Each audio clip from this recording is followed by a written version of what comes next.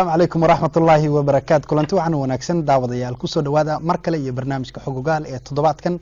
Toddobaadkanna barnaamijka xogogaal waxa uu la wadaagayaa farxadda iyo ciidda xuska maalinta caalamiga ee haweenka oo ku beegan maalinta berri oo dalka iyo dunidaba laga xusi doono barnaamijka caawa waxaan idil ahaantiinba aan kaga hadli doonaa arrimaha qoyska gaar ahaan hooyada iyo haweenka. Maxaa looga baahan yahay? Maxaa tala bixin ay u baahan yihiin? Waxay noogu martay barnaamijka faatimo cusmaan dubad oo inta badan loo yaqaan mama fosiya aad iyo aad baad u mahadsan tahay mama fosiya ka qayb qaadashada barnaamijkaaga. Waxaa kaloo barnaamijka ay la daadahinaysaa sida caadada ah faatimo maxamuud aad baad u mahadsantihiin daawadayaal idinka na daawanaya. Ugu horeyn waxaan jeclahay maama fosiya inaan weydiiyo bal dareenkeyga ciidda iyo farxadda maalinta caalamiga ee haweenka. Haye. Bismillaah alxamdulilah waad ku mahadsan tahay. Maadaamaan ka mid ahay hooyooyinka hadda la xusayo marka hore waxay tahay farxad aada u ballaarhan marka xigtana hooyo xuskeegu waa xus taagan. Nolosha dhammaanta ku dhex jira laakiin caawa kale waxaan odhan karnaa waa hameen taariikhda hooyada. Si gaara looga sheekeynayo marka hooyadu lahaanba waxaan ka leeyahay hambaliyo meel kastoo joogtaba. Qayb kastay tahayba saa gaashaantida sidaa marwada sidaa maadaragtaay hooyada sodohda hooyo dhammaanteedba waxaan ka leeyahay hambaliyo ku faraxsannahay xuskaygan lagaga warramaya taariikhdan soo jireenkeyga. Marka xigtaa hooyada saa la yaqaano oo dee laysku waafaqsan yahay waa hooyo qaaliya hooyo waa kelmad qaaliya waa kelmad cidiba aynan wanaageyga ayna isku khilaafsanayn. Marka hooyadu waa hooyo run ahaantii buuxisay nolosha qaybo aad iyo aada u fara badan. Waa hooyo maadaragtaay ku soo tartantay wax kasta oo badan waa hooyo aan ku faraxsannahay oo aan ku faanayno wax kastoo hooya ka fikirto ficilkiisa la timaadaba allah subxaana wa tacala uu u fududeeyaa. Marka hooyadu tartan fara badan ayay soo martay wax badan oo badan ayay ku soo tartantay hooyadu. Wayna ka maro dhalisay oo way ku guuleysatay. Markaas alxamdulilah maantana waxaynu ognahay hooyooyinku amba haweenku in ay soo koobsateen kaalmo fara badan oo lagu kala sheego haweenka oo la kala idhaahdo sida madaragtay gaarida sida geesiyadda iyo sida raaliyada markaa saddexda qooboodba hooya way koobsatay waana karti in ay ku guuleysatay maantana waxay hooyadu haysataa fursad aada u ballaaran oo hooyada maanta joogta. Waa hooyo maadaragtaay nasiib u yeelatay inay noqoto hooyo cilmi u saaxiiba hooyo dhaqaalo u saaxiiba hooyo waayo aragnimo iyo ilbaxnimo u saaxiiba hooyo nolosha kaga jirta qayb walba. Xagga ugu sareysa ilaa xagga ugu hoosela xagga dhexe. Marka hooyadaasi waxay karti u leedahay wax kastoo wanaag ahba nolosha dhexdiisa inay ku soo biiriso marka hooyadaas waxa aan insha alla ku ballamayna haddii la idhaahdo in ay u xamaan qaadato amba dhexda u xidhato. Sidii ay uga shaqayn lahayd isfahamka ee kalgacalka bulshada dhexdeeda laga rabo in ay ku noolaadaan. Aad baa u mahadsan tahay khadar. Aad baan u faraxsannahay inaan maamafuusiyo xoog ogaal ku soo marti qaadno. Sida loo ogyahayna gabadhu waa gacantii midigta waa gaashaandhigii bulshada gabankii hooye tiraahdana iyada labadeeda gacmood golo weyn uga samaysa jacayl gaagax lahayna iyadaa ku gadooda. Haweenku maadaama ay tahay maalinta wiid maris oo britole sideeda maris ay ku beegan tahay maalinta haweenka loo asteeyeyna ay tahay barnaamijkeena sidaad soo sheegtayba waxaan kaga faa'iideysanaynaa inaan la ciidno oo aan hambalyeyno haweenka reer jabuuti oo aan odhan karo waxa ay haybad u leeyihiin tan iyo halgankii oo ay ka soo galeen kaalin lama ilaawaan ah. Haweenka reer jabuuti ilaa iyo maanta waxa ay ka midho dhaliyeen dhan walba hadday noqoto ka shaksiyan hadday noqoto danta guud. Dhinacyo badan waxaan ognahay haweenka reer jabuuti inay aada uga dhex muuqdaan oo ayna la tartamayaan haweenka kale ee caalamka. Xag walba sida imaam fuusiya soo sheegtay. Marka fursadaasi daraaddeed marka ugu horeysa haweenka reer jabuuti meel kastoo ay joogaan waxaan leenahay ciid wanaagsan intaasi kasakowna waxaan caawa siini doonaa fursad khadar sidaad soo sheegtay. dad badan oo sugayay xog ogaal inaad soo fariisiisiin baan jecelahay maafuusiya inay su'aalo arrimaha qoyska ku saabsan ay weydiiyaan. Waana arrimo loo baahan yahay in laga wada hadlo oo qofka su'aal jecel inuu soo weydiiyo looga jawaabo iyo dad ra'yi kalena la wadaagaytaba waan gartay weliba haddii aan daawadayaasha aan waxoogaan fahamsiino maama fosiya waa qof yani kaalin udub dhexaada kaga jirta talabixinta xagga qoyska iyo weliba dhinaca lamaanaha bal waanooyinkaasi maxaa murtidu ay tahay ama uga gol leedahay maama Een, waanooyinkaasi waxay tahay run ahaantii een, saan horeba u sheegnay ku celcelino. Mm. oo aanan dee ammaanta hooyana dhammaanaynin. Mm. hooyada maanta joogtaaye waa hooyo qaaliya. Waa hooyo u daacada hadduu ilaahay ku arsaaqa ninkeygii inay reer dhisto. Waa hooyo u daacada hadduu ilaahay ku arsaaqo inay awlaad dhasho. Waa hooyo u daacada in awlaad wanaagsan ay soo saarto. Markaasi waa hooyo u daacada inay garab ninkeyga u noqoto oy kala qayb qaadato dhaqaalaha iyo wixii la halmaala waa hooyo hawshii u gaaraheed iyo hawshii dibaddaba isku darsatay. Markaas waxaan leenahay ragga maanta jira nasiib badan bay leeyihiin. Waxaana loo baahan yahay inay fahmaan. Baa loo baahan yahay ha. oo ay siiyaan niyad sami Mm. oo iisoo sheeg ku hambaliyaan howlahooga Mm. si ay madaragtay hore ugu socon lahaayeen. Mm. markaasi wax- adiguna gabdhaha waad aragtay ma talooyin baad eh, siisaa dabcan haa waayo hooyadu waxay ka soo ka soo maxay ahde farcantaa waa gabadh. Marka gabadhuna haddii hagaagto wixii ka dambeeya way hagaagayaan. Ha markaasi dhibaatada isfaham la'aanta reeraha ku dhacday intaanan la gelin ka hor Mm. xanuunka kaas ah oo isfaham la'aanta ah ha waa inaa laga sii tallaalo gabadha ha intayna reer gelin. Waan gartay. Waayo qofku xanuunku markuu ku dhaco laysku dayo in laga daweeyo waxaa ka dhib yar qofka intuuna ku dhicin ka horba laga sii tallaalo ma ogtahay. Qof kasta ood u malaysid inuu madaragtahay si khaldan u socdana ha u malaynin inuu ku ashaqsaya khaladka qof kasta oo jiraay wanaagga ayuu jecel yahay Ha. bili-aadnimadu waxay leedahay wax xumaandid la idhaahdo markaasi qofkan aad moodid inuu khaldan yahay si moodo ayuu khaladka u galay waana ku dhex qalqoonsan yahay wuxuu rabaa keliya inaa garabka la qabto oo laga soo wax la fahamsiiyo waxaa taasi cadaynaysaa waxaan la kulmaa alxamdulilah hablo tiro badan markaasi si aaday weerada u qaataan waayo muddo khaldan bay markii hore haysteen. Waa waayo dhaqan ahaana loogama sheekeeyo. Beryihii horeaba looga sheekey jiray gabdhehe iminka waxaa laga yaabaa inaan inta badan la sahlaynin Mm. markaasi waxay u malayn karaan gabadhu in ay isoo sheegay guurkoo kale. Lagu helo dadaal iyo isqurxin. Guurkuna taa uu ka dharyahay laguma helo cilmi laguma helo nasab laguma helo qurux laguma helo dhaqaale. Mhm. gurigu waa qadar walaa labadu ilaahay iskugu talagalayna Mhm. ilaahay baa isku og iskuna diyaariyey. Marka waqtigii gaadhana ilaahay baa hawshaas waa hawl ilaahay markaasi wiilku waa dadaalayaa gabadhuna waa ducaynaysaa. Waa doob iyo gaashaanti dee waxay kala yihiin. Aad aad baad umahadsantahay maama fawziya. Ah. Eh, intaan barnaamijka ku jirno waxaan filayaa inaan kala faa'iidaysan doono daawadayaashana in badan ay naga faa'iidaystaan iyaguna ay noo faa'iideeyaan. Eh, telefoonada ayaan goordhow aan khadka telefoonka ayaan idiin furaynaa oo wixii talo iyo tusaale iyo su'aalba aad barnaamijka aad kaga qayb qaadanaysaan balse waxaan idin daaranaa imika barnaamij gaaban oo aan ka soo diyaarinay maama fawziya ee guddoon wacan.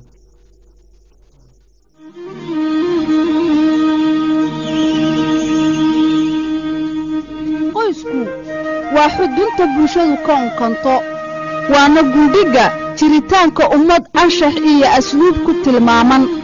Waa xarun laga barbaariyo faca soo koraya waa dugsi wax laga baro ubaxa curdinka ah ee la naawilayo inay badhi itaalaan horumarka ilbaxnimada qaranka.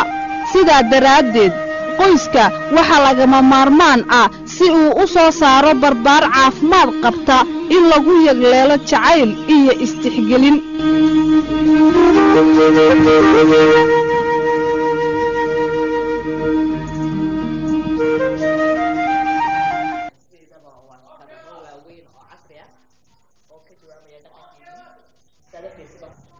markaasi waxaan jeclaa inuu kabar kale noo haado saas oo kale marka waa qalabkii uu wiilku xidhanayo o dhan. dhiraya oo dhaqanka ahaa. Ah, macnaha waa wiilkii bay ka dhigan tahay marka. Way ka dhigan tahay. Haa tahay Ilaahay maasha allah. fadhigiisii, Ah, fadhigiisii. maasha allah.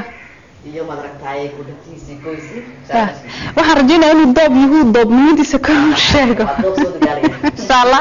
Gashaantidii u tegina sidoo kale gaashaantidina waa tan. Okay. Een, waata gabadhii gaashaantada ahayd maasha allah doobkaasi usoo dadaalayay maasha allah Een, iyadaan micnaheega gashahantay bay ahayd maasha allah marka gaashaantidaasna halkan bay isku diyaarinaysaa hay iyadoo ku dhowrsan waxyaaba fara badan oo dhaqankayga diinteedu amrayaan waa tahay sidii u heli lahayd wiil hanti gashada hilbahayga insha allah waa siday tahay ku guulaysan lahayd maasha allah waa kadra casriya inaan bacayno isaa loogu yeero maasha allah insha allah maasha allah wagaag ee barnaamijkaasi gaabanna waxa uu qeyb ka yahay barnaamijka xogogaal ee toddobaadkan oo ay nagu marti tahay maama fawziya ama faadmo cusmaan dubbad aad iyo aad bay u mahadsantahay qaaliga inay qeyb naga siisay bal aragtida guud horta aad ka qabtid dhalinyarada iyo xilligan sida ay yihiin bal bal waxoogaa maxaad noo cabiri karaysaa? Kolley inkastood adigu ku dhex jirtid ay ku yimaadaan oo waana aad siisid bal aragtida dhalinyaradu run ahaantii Mm. in- inkastay wax badan ku dhex qarquunsan yihiin. Isbedelkii dhacay iyo waagii hore iyo xilligan Ha. markaas barbar dhigto. Horta waxaa laga hadlaa oo dadka qaarkood yidhaahdaan Mm. gabdhihii horaa qaali ahaa Ha. xishooni jiray waxaas laga hadlaa. Kolle waxaa la yidhahdaa gabdhihii hore waa la garaaci jiray waa la gumaysan jiray imikay xoroobeen waxaas laga hadlaa. Marka halka iskaga imaadaan waxay tahay gabdhihii hore dhaqan ahaan horta wax badan bay ka badbaadsanayeen oo wax maad aragtaay labadan cadow oo hadda maanta isku qabtay oo wax badan ka soo saarayo qofka dee saabaho baahidiisa uu qaban lahaa Ha. ka soo saaray way ka badbaadsanayeen oo waxna may arki jirin waxna maqli jirin marka baahidoodu way way hurday midda labaad dhaqan baanu lahayn u saamaxaya inay gabadhu adkaysi la timaado iyo idaab oo waxaa ka mid ahaa sida tidaco oo kale tidacu timuhu waa shay loogu talagala raaxada. Oo xamasad bay leeyihiin. Markaas halkaa kaaga tidcanaadaba la odhan jiray. Laaya intii faraha gelinaysa imanayso. Markaasi gabadha waxaa lagu yaqaan tidaca Ha. waxaa kaloo jiray gabdhaha maxay ahayd ee hooyadu la sheekaysan jirtay. Waxay u sheegi jirtay iyagoo jahligooga lagaga faa'iidaysanayo. Hmm. waa dad cilmi lacaynkaasi may ahayn. Waxaa lagu odhan jiray meesha wiilku fadhiisto haddaad fadhiisto waad xumaanaysaa. Sax. Taas waan gar- waxaa Eh, eh, telefoon baan qaadanayna cafwan alo asalaamu calaykum calaykum asalaam soo dhowo walaal magacaaga iyo halkaad ka soo hadlayso. Halkan ka soo hadlaya xaafadda leer baan ka soo hadlaya xanab maxamed maxmed baa la yidhi. Soo dhowow haye barnaamijka maxaad kaga qayb qaadanaysaa xogogaal caawa? Barnaamijka waxaan kaga qayb qaadanayaa waa si sharaf loo wanaagsan hidiya dhaqankeena qaaliga ah. Haa waa wax sharaf loo wanaagsan. Haa dumarkeennaa sameeyey. Haa waananu ku faraxsannahay. Haa sidaasaanu ooyooyinka qaaliga ee wadanka ugu faraxsanna oonu anaguna ula jirnaa berrina waxaa la xusayaa maalinta caalamiga ee haweenka. Berrina ha waa inshaa allah waanu ka qayb gelaynaa waan gartay haye. Ya aada baad u mahadsan tahay ka qayb qaadashada barnaamijka waan kaaga mahad celinaynaa ha haye asalaamu calaykum. Wacalaykum asalaam waraxmat ullahi wabarakaatu aada baad umahadsan tahay hadalka waxa wada tilmaamo foosyahaye maxaad ku daray marka gabdhihii hore dee een, kala dheeraasha jiray. Hmm. een, isdhexgalkaa yaraa Ha. markaasi een, wiilashu may heli jirin dee inay gabadha si dhib yar way taasi waxay keenaysa dee qaalinimada lagu sheegayo waa la gumaysan jiray waa la dili jiray arrintaa marka laga sheekeynayana reeraha reera fiican baa jiray maasha allah laakiin qayb ka mida baa jirtay oo gabadha dooqeyga aanan la ogaani jirin la qiimeyni jirin oo loo dhisiri jiray wiil ay ka raali ahayn. Talabaadna waxaa jiray dee dhaqan ahaan inay gabadhu fircoonigii qabtay. Wiilkuna uu tartiibtii jaranjarada gabadha u soo dhaweynayay doonisteeda aynaan u haleelaynin Ha. een aad muddo isagoo cadhanaya inuu gabadhii la howlgalay taasina waxay u keenaysay inay hameenkii caruuskeega uu ahaa uu noqdo hameenkii gowraciigu jiray. Markaasi adeyg baa iman jiray. Fikir kale haddana qabeen oo ah ilmuhu markuu dhasho inaa odayga lala kulmi karin markaa ninkii cadhada badan oo qabay gabadha oo ilmahan daraadi Hmm. haweenadiina u kaadi ay ku tidhi Hmm. dee garaac iyo cadho halkaa ka timiday ayaaba la garaaci jira gartay. Gogosha xumeed bay ka ahaatay. Hmm. dadka qaar bayna ku dhici jirtay. Dadka oo dhan wada odhan kari mayno. Markaasi maantana uh, waxaa bedelay run ahaantii waxbaa la fahmay waxbaa madaragtay dadkii cilmi bay yeesheen laakiin in yaro waxaa jira muddo khaldan ah muddadaa khaldan oo ah inay yahay saan iminkaan sheegay inuu yahay gurka ku mid eh, la doondooni karo. Oo gabadhu ay doondooni karto. Eh, wiilka waxaa la rabaa gabadh wanaagsan buu rabaa. Hmm. dadaalkii iyo isku diyaarintii reer hortii hub samaysa ayaa la rabaa. Hmm. doobka waa doonastaan sheegnay. Laakiinse waxa weeyaan inuu ilaahay tala saarto gabadh wanaagsan uu weyd- weydiisto. Hmm. isna markuu isdiyaariyo Hmm. uu dee gabadhii si tartiiba oo run ka sheegaya. Hmm. uu dhowraya gabadha hilbaheyga inuu si madaragtay u hanti gashada xalaala. Ayaa qurux badan. Ha. ma aha inuu wiilku uu adkeysan kari waayo soomi waayo samri waayo uu doono inuu si bilaasha gabadha ku helo wax loo baahan yahay maaha Mhm. gabadhana ninkan kalsoonidiisa se u heli lahayd Mhm. inay isku diyaarin fara badan oo hadda xaq u lahay wiilku Mhm. oo isqurxin fara badan iyo iskuunin fara badan inay u keenta maaha Ha. waayo gabadhii macmacaankii hadday wiilkii gabadhii banaanka ay ku soo dhameeyaan dee reeruhu mashaqe iyo raaxay lahayn moogtahay Ha. marka raaxadii haddii banaanka laga yimaado dee waxaa loogu tagareeday waa mashaqadii Ha. mashaqadina loo adkeysan kari maayo Ah. maama waxaad eh, tiri wiilku waa inuu doobnimadiisa ka noo sheego hawlgalo doonitaankiisu soo hawlgalo Een, gabdhihii hore waxaad soo sheegtay inay tadicu xigmad ay ku jirtay oo maadaamay timuhu yihiin sinyada haweenka ay qayb ka yihiin. Marka arrintaa ka hadlaysid bal maanta markaad dhinac eegtid iyagu miyaana la odhan karin mararka qaar markasta maaha een, qayb bay ka noqon karaan inay dadaalkii uu eh, meeshiisii gaari waayo oo marka timihii tidcanaan jiray meeshoodii laga waayo bedelay marinaysaa biiguda ku xidhaysaa way kaa wadanaysaa markay xariir noqdaan xamasad bay keenayaan. Intii faraha gelaysa gabadha weydiinayaan. Markaas wiilkiina markuu banaanka iyagoo kaawadaysan ku helo Hmm. oo meelo badan layskula soo maro Hmm. dee waxaa dhici karta gabadhu inay u malayso. Markay guursato gabdhaha qaarkood gabdhaha odhan odhan maayo inay u malayso hawshan inay tahay hawl laga soo rawaxay oo gabadha markay walaacdaba gabadh gabdhaha ka mid dee inay fiidhin wada waa suurtagal Ha. taasina waa ta keentay inay raggu yidhaahdaan gabdhaha markaan la hasaabo inay aragti wanaagsan. Balse markaan guursanana ha. oo aragtidooda ma wanaagsan. Waa hagaag eh, jeclahay eh, qaab suuganeed baad mararka qaar aad fariin ugu tabisaa ama eh, waano ugu tabisaa. Eh, sida tusaale ahaan oo kale gabdhaha waad aragtay maaha guri galaya ama wiilasha waad aragtay maa guri galaya eh, ma garanaysaa eh, isguursada. Bal qaabkaas suuganeed maxaad ka xusuusataa adoo gabadh waaninaya? Gabadhuhu markay caruusada tahay soo markuu caruuska yahay. Ha. Odhahadan ka idhaahdo soo ma ha. Sax odhahadan ka idhaahdo dee waxaa ka mid ah. Gabadha dee horta inay ku xamdido dee nimcadan ilaahay siiyey. Waxaan kaloo aan u sheegaa inay yihiin dee laba qof oo laba qaybood oo kala baqada iska shoo kale. Ha. Een, marka waxaan u sheegaa oday inay ka soo bixeen jarajartii gaashaantinimada sax. Oo ay ka soo run sheegeen. Ilaahayna ugu abaalguday dee inaa loo ogolaado eedaankii marqabay kaga afrinaya wax badan ka sooman yihiin isla markaa waxaan u sheegaa inay galeen jaranjartii saddexaad oo oday iyo islaan ahaa oo loo baahan yahay dee hawshii loogu tegayey inaa laga run sheego. Marka islaan waxay ka dhigan tahay baru macneeya. Hmm. waa islaan uga baxday reerkoogii oo ninkii la sii lagu war lahaw. Ha. Markaasi waa inay maskaxda u faarig noqoto talada ninkeyga oo keliya baan ku idhahdaa ninkaasoo ah nin ugu talinaya dee tala waxtar u leh maaha tala jaree buur ka dhacay kuridaya taasna waxaa lagu soo ogaanayaa kaalintii hore ee Hmm. gurguurtii markaasi kadibna dee waxaan u sheegaa ninku inuu yahay dokteerkii dee nafteeda Ha. ambase macalinka nolosha baray dee. Wax badan ay garanayn ayuu u furayaa. Markaasi waxaan kaloo u sheegaa inay kula nagaato nolosha ninkeyga. Sax. u dhidhibsta reerkeyga u soo dhigato. Sax halkaa ii joog maama telefoon baan qaadanay allo asalaamu calaykum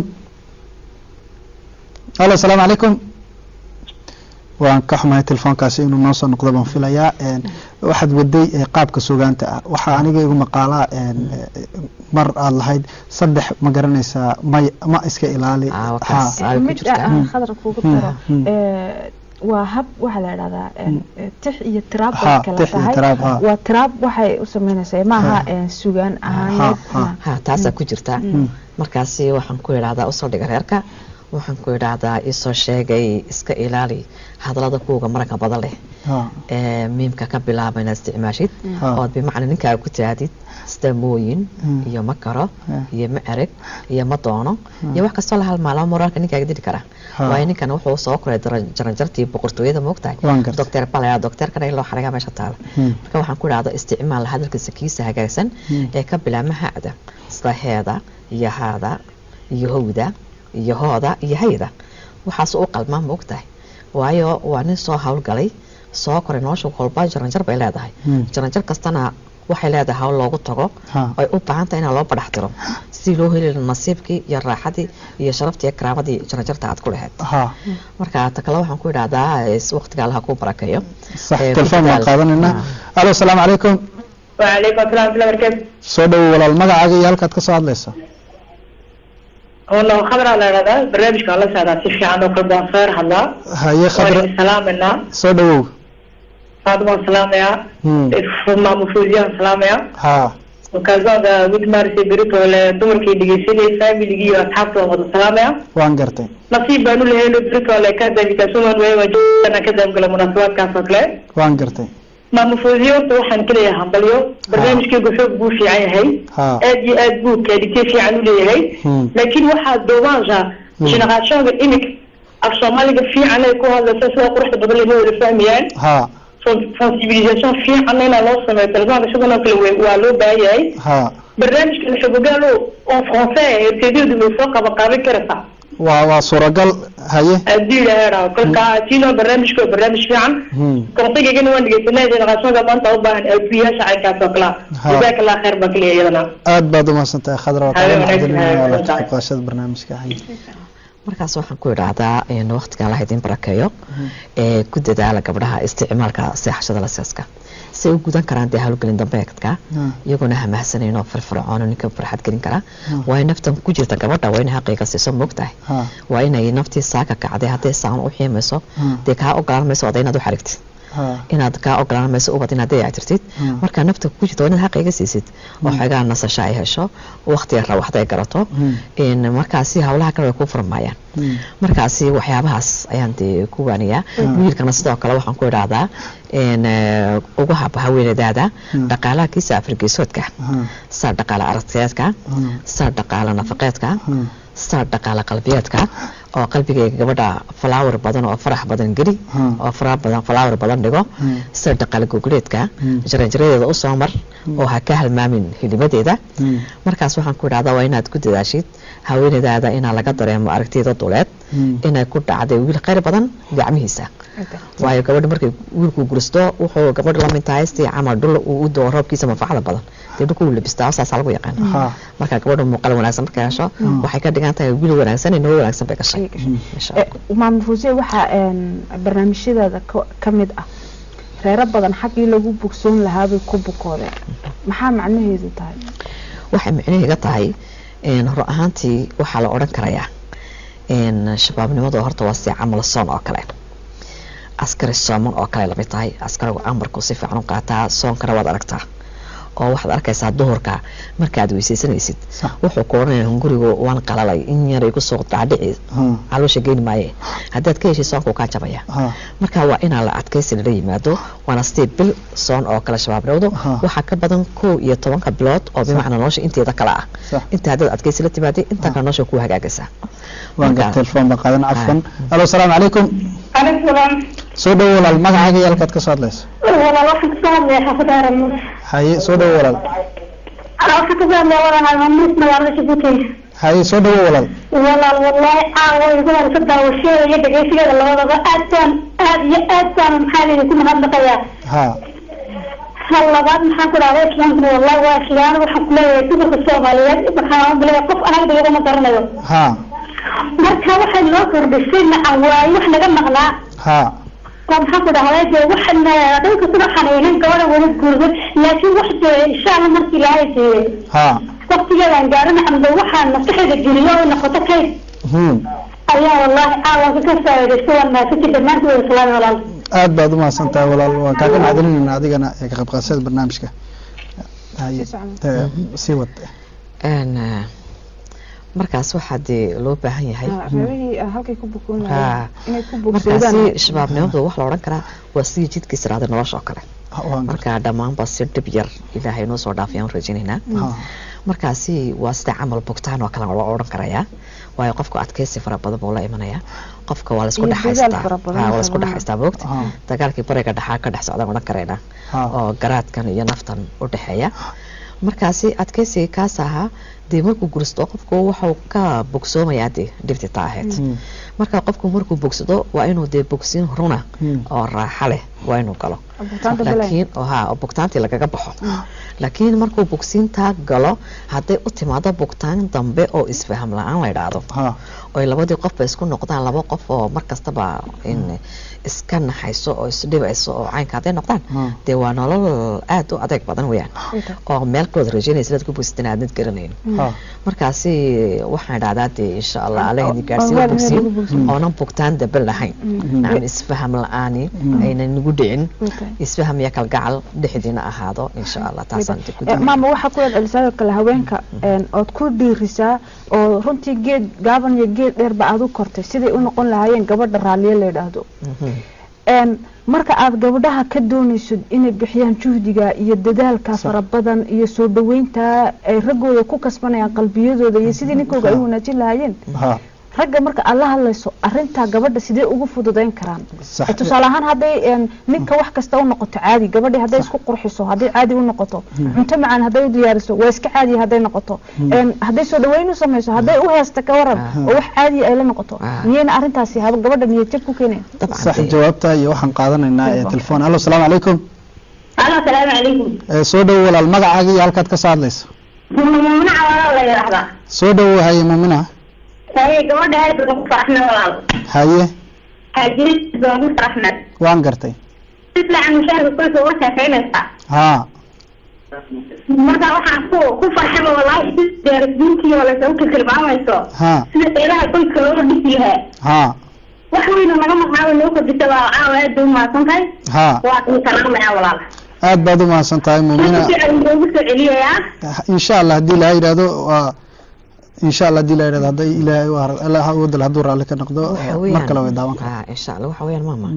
Noloshu waxay u baahan tahay wax waliba milix bay u baahan dhadhan bay u baahan horta saan ognahay rag way dadaalaan. Waxay ku hawlan yihiin sidii reer wanaagsan dumar wanaagsan iyo awlaad wanaagsan way soo saari lahaayeen. Dumarkuna way ka sii xag jiraan. Haddana waxaad arkaysaa xasiloonada inay yar tahay. Taasi micnaheedu waxay ka dhigan tahay dhadhankii milixda ayaa ka maqan. Haddii cunto casuumada aad samaysid oo cuntadaas oonan keegii xalaawada ahayn oo sonkor u baahnayn oo ay tahay cunto milix u baahan sidii hilib iyo digaag iyo kale wixii la halmaala laakiin aad yaraysatid milixda lagu darayay Hmm. milixdu waa shay dheri lagu daro shay ugu lacag yar. Inta lagu daraan ugu yar. Haddaad ka yaraysatid cuntadii dhadha ayaana mayso marka dadaalkii waxay u baahan tahay inaa lagu daro nolosha milix. Milixda waxay ka dhigan tahay inuu midba midka kale xaqiisa siiyo. Wuxuu dad muslimiin aan nahay diinteena inoo diyaarisa noloshaas ay u dhan tahay wuxuu rasuulkeena calayhi salaatu wasalaam gabadha waxaa ugu khayr badan gabadha ninkeygu markuu daymoodo Hmm. farax gelinaysa muuqaalkayga iyo dhoola cadaynteeda markuu amrana adeecaysa waxaa kaloo islaamkeena amrayaa haweenka amrayaa Mm. inay gabadhu wiilka u ilaaliso kurkeena ay ilaaliso. Kurka micnaheedu waxay ka tahay waa inuu wax quruxsan ka arko waa inuu wax wanaagsan ka maqlo waa inuu wax udgoon ka wariyo wixii ilaahay ku arsaaqan inuu tartiibiso cunadiisa.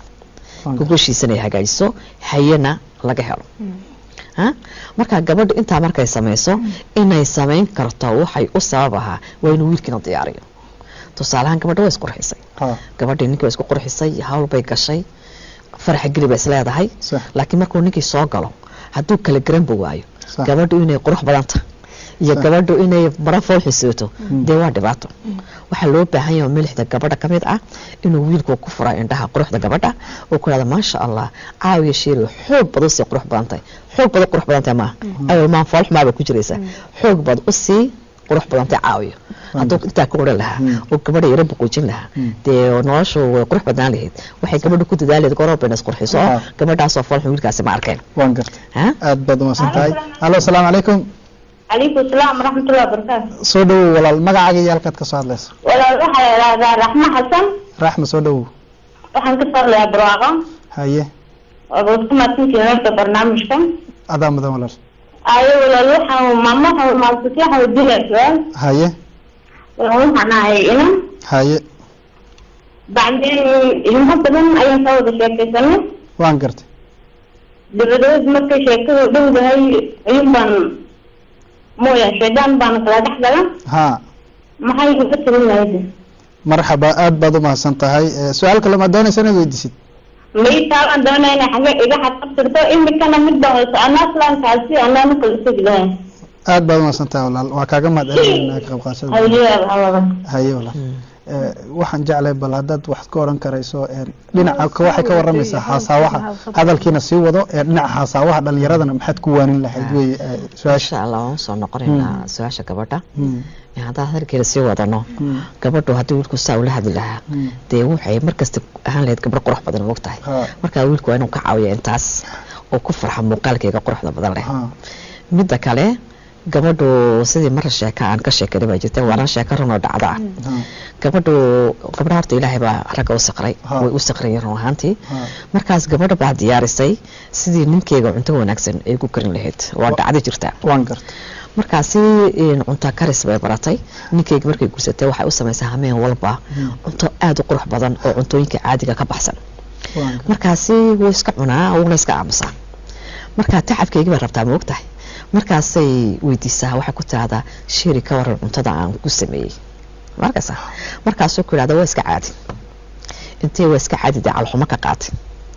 Ayay maalin maalmaha ka mid a inantii ciidankeed ku tidhi bal caawa adigu u samey xaajiga cashada. Markaas inantii yaabtay oo tiri maxaan u samayn karaa? Markaasay ku tiri wixii aad garanaysid ba ugu tuur.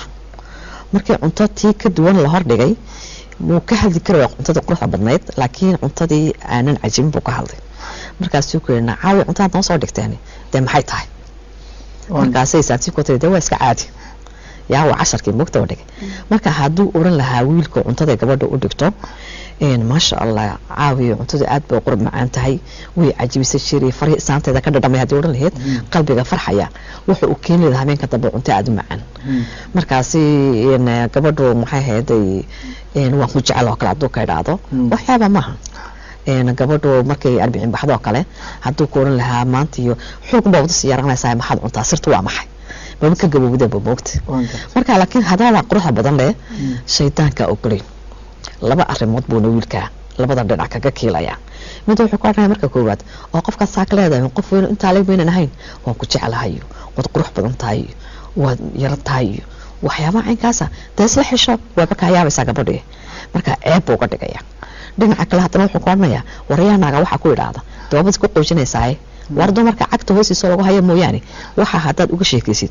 Dee waaba ku dhibaataynaysaa markaasi labadaa dhinac buu ka kiilaya shaydaankii waa milixdii nolosha uu diidan yahay. Marka hadduu qasab iskaga dhigay wiilkii qudhadiisa shaydaanka wuxuu isticmaalaya haweenaydii markaasay ka odhanaysaa ha oo dee macaawada aragtay quruxdayda. Indhaaga halkay ku maqnaayeen weliba kalaa ku sii jeedaan waxaad ka taqaantay ma jirtay intaa hadday ka tahay ninka dirqiga isku soo qaqabtay dee halkii waa lagu kala tagaya. Markaas waxyaabahaasu ibliisku ilaaliyo. Oo milixdii cuntadana ah ayaa loo baahanyay saasoo kale gabadha waa inay wiilka u micnayso inay ku faraxsantahay guurkiisa la noolaashihiisa waxtarkiisa ya waa inay u muujiso boqortooyo. Boqor markay ka dhigto isna boqorad buu ka dhigaya. Markaasi waanadii dee haweenkii asxaabti ka mid ahaa gabadha waxay ku tiri hooyadeed u noqodhay soo isna xirka ugu noqdo. Taasi waxa weeyaan gabadha waa inay dhurub busana oo ciid macaan u noqoto. Isna ku beerto biyo macaan si ay uga bixiso mudho macaan. Markaa nolosha isku dheelitiran iyay u baahan tahay. Markaasi waa inaad meelaha yaryarka ah la iska ilaaliyo. Oo wiil kastoo gabadha iskugu qurxinayso uu isaguna iskugu soo qurxiyo iskugu diyaariyo. Waa inuu mid midka kale dee u sheego farxadda uu kula nool yahay. Laakiin haddii goor kastaba dee waxan waa maxay? Qof dee dhibaatoonaysa qof samraysa qof ciishoonaysa muuqaalka haddii laysku mumuujiyo dee nolosha waa laga dhacaya mugta marka nolosha milix ha lagu daro insha allah. Sax taas waxay ahayd tala bixintii lamanaha bal dib haddaad noo celisid dhinacii gabadhii nala soo hadashay xasaawaha iyo dhalinyarada inkastoo soo karxaadisood soo sheegtayba inuu guurku dee min allah yahay oo taasi ku filan karto horta guurku wuu qaybo badan yahay. In xasaawuhu wuu qaybo badan yahay. Horta qaybta ugu fiican oo sharciyana wanaagsan laakiin dhaqan ahaan inagu aan la jaan qaadi karin oo si ceeb loo arki karo. Waxa weeyaan gabadha ma aha in ay ku daasho saynin u heli lahayd ma aha inuu gabadha kolba wiil u sheego hadallo oo ku dhecsanaya qalbigayga oo kolba meel isku taago oo iyadoo garanaya ninkayga inuu yahay ee cidlo ka jeclaato waxaasoo dhan gabadha waa in laga ilaaliyo. Gabadha waa inay ku doorsanaato aqalkooga waa inay ducaysato. Gabadha waa inaa loo ficito ma hadday nasiba u yeerato sidii aabba waxgarada iyo sidii waala waxgarada oo u dooran kara nin gabadha lagu aamini karo. Isla markaa lala kulmiyana hadday ku qanacdo waa inaa loo guuriyo hadday isku qanci waayeen wax qasaba maaha waayo labada qof waa inay isku qancaan oo qalbiyadu iska raali noqdaan. Isku qanaca wuxuu waxtar u leeyahay mustaqbalka reerka. Waayo qofku qalbigaa ka raali yahay khaladaadkiisa si dhibir uma arkaysid. Haddaad si aragtina si dhibir baad ku dul qaadan waa hagaag telefoon baan qaadanayna. Alo asalaamu calaykum. Salaamu calaykum. Wacalaykum asalaam waraxmat ullah soo dhawow walaal magacaaga iyo halkaad ka soo hadlayso.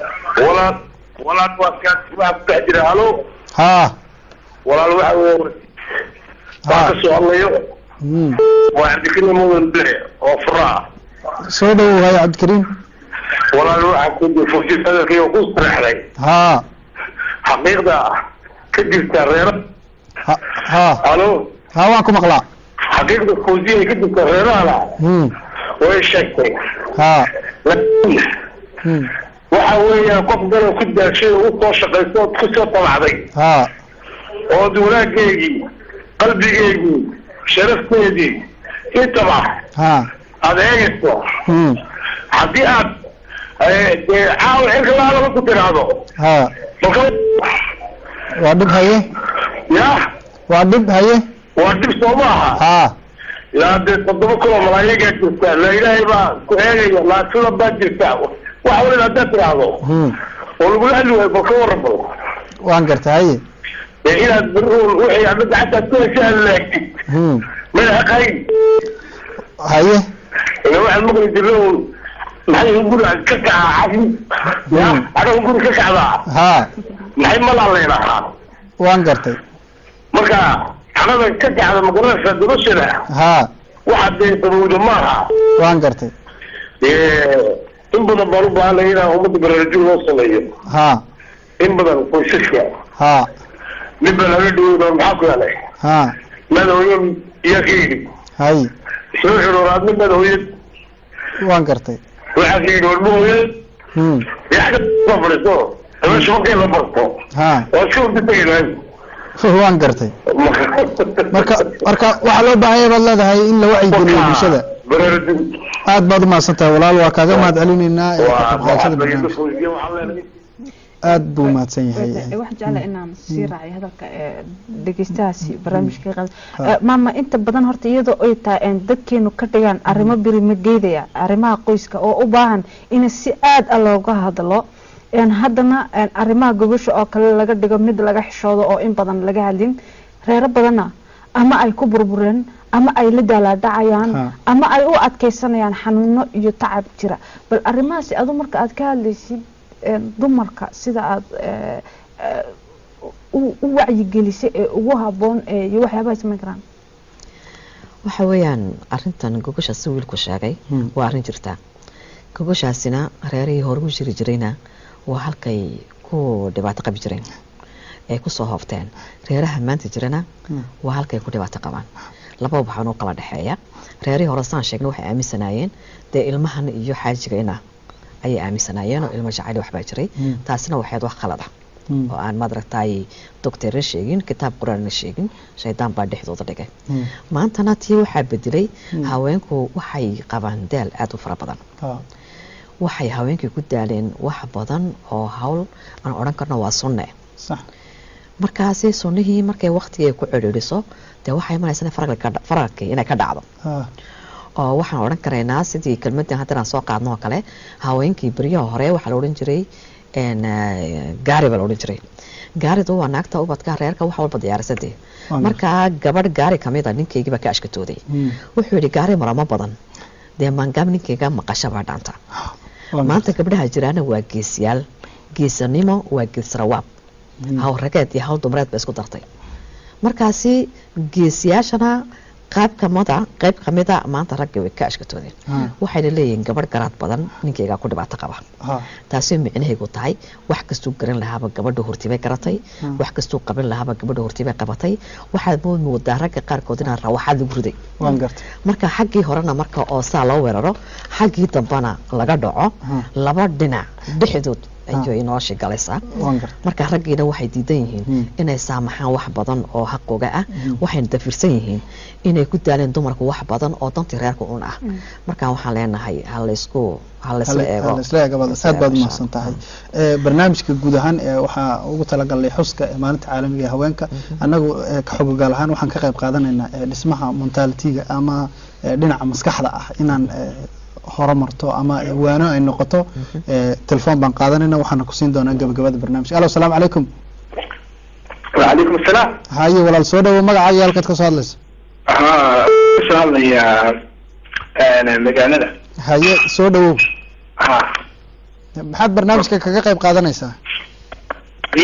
Maxaad barnaamijka kaga qayb qaadanaysa markii ad daawa ha de kristin waan maama? Haye soo daa. Ha ha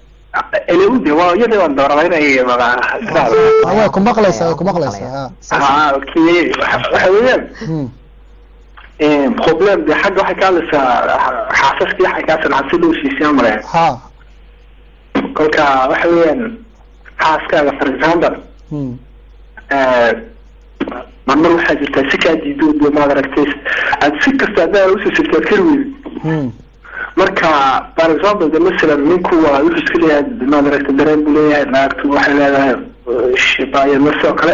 Hmm. laakiin waxaa jirtaa waa inay labada qof is- ogolaadaan markasta ha kolkaa ah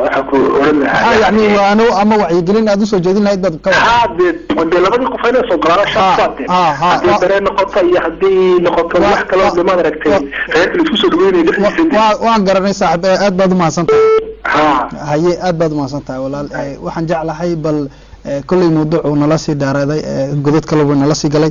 Waxaan jeclahay bal waano eh, guud ahaan hooyada ama gabdhaha iminka hooyo noqday.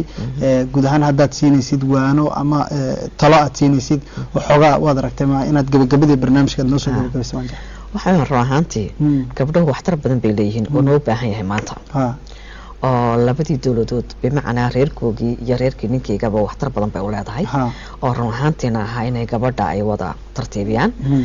marka waxtarkoogaas maanta lagama maarsamayo horumarkoogana lagama maarsamayo Mm. laakiinse waxaan odhan lahayn Mm. een, horumarka ayaa hawshaasi. Runta marka laga hadla tusaale waxay la mid noqonaysaa sidii tusaale bil rabadaan baa noo soo gashay. ha inaga oo wada socona ayaa sunno ku noolayna habeen kastoo u dhannaa ha Een, waxaan tagnay maxay taraawiixdii iyo caynkan caynkan. waxa aan kala hooyanay salaadii dee suxuurta. markaasi markaan suxuuranay waxa uu inoo diiday naftii waayo waa soo daalina mogtahay Ha.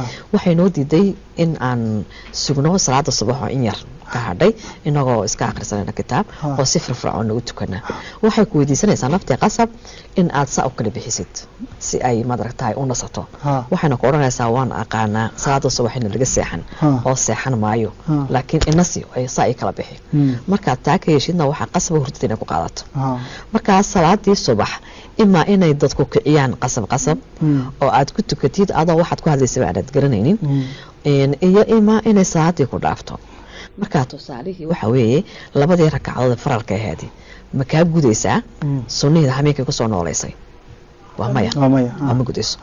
Markaan reerku markuu reer runa la rabo waxa weeyaan in oo la hagaajiyo wax kasta oy ay madaragtahay islaamkeenu inoo diyaariyey inaynu iska hagaajino. Ha.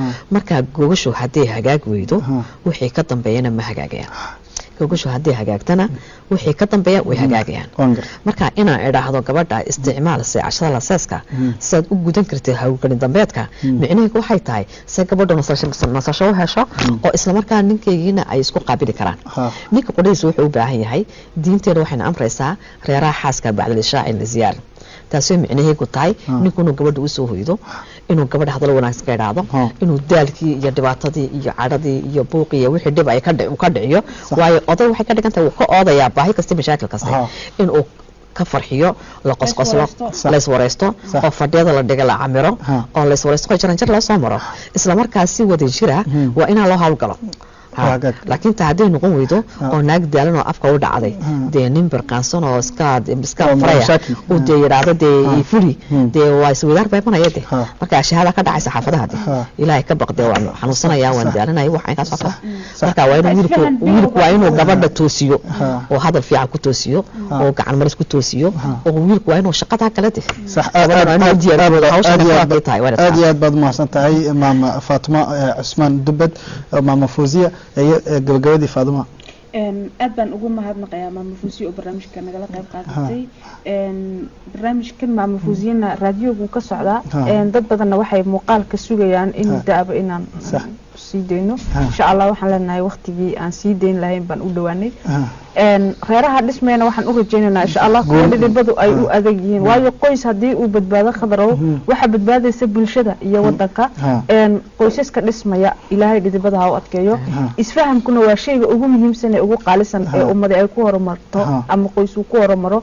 Kaan lacag iyo qurux iyo magac waxaa Ha. ka muhiimsan een wacyigelin kasta oo loo baahan yahay iyo Ha. meel kasta oo eh, lagaba maarmaan tahay inay lamaanuhu ka helaan een waxyaaba ay u baahan yihiin oo lagaba maarmaan ana. Waxaan ku dadaalanaa insha allah inay barnaamijyadeena qayb ka noqdaan. Waa hagaag aad baad umahadsan tahay faadumo. Eh, waxaan soo gaarnay gabagabadii barnaamijka xogogaal. Waxaan daawadayaashaan xusuusinayaa toddobaadka dambe haddii allah wada la raalli ka noqdo. Barnaamijka xogogaal waxaa uu dabaaldegayaa kadib markii la howlgeliyey muddo hal sano ah ayuu eh, u dabaaldegi doonaa. Eh, waxaan jeclahay inaad ka faaideysataan fursadaasi oo nagu soo dirtaan eh, fariimaha xagga facebooka ama telefoonka. Kolka uu barnaamijka soo galo ood aragtidiina ka dhiibatiin eh, muddada uu socdo barnaamijka waxaad talo ku soo kordhin karto iyo tusaalaad kaga qayb qaadan karto. Intaba toddobaadkana barnaamijkii xogogaal oo maama fuusiya inagu marti ahayd oo aan ugu talagalnay inaan kaga qayb qaadano xuska maalinta caalamiga ee haweenka oo ku beegan maalinta berri ah. Intaas ayaan ku soo gabagabaynaynaa tan iyo kulantideenna dambe haddii allah awooda la raalli ka noqdo inta ka horeysa waxaan idinku dhaafaynaa. Nabadgelyo iyo amaano allah.